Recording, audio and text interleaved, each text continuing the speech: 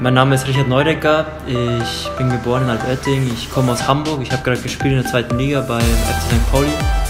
Ich ähm, spiele Mittelfeld und ja.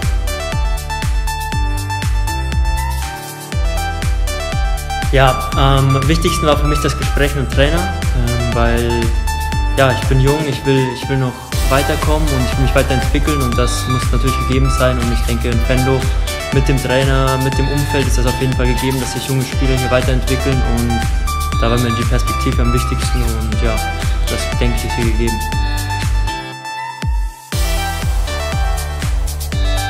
Also mit Venlo will ich natürlich so gut starten, wie es geht, ähm, in die Saison kommen und am Ende so gut abschneiden, wie es geht. Hoffentlich ähm, werden wir jedes Jahr etwas erfolgreicher.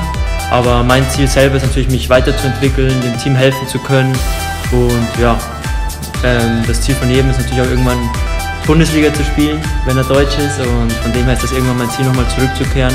Aber erstmal will ich hier alles geben, will mich weiterentwickeln und der Mannschaft helfen.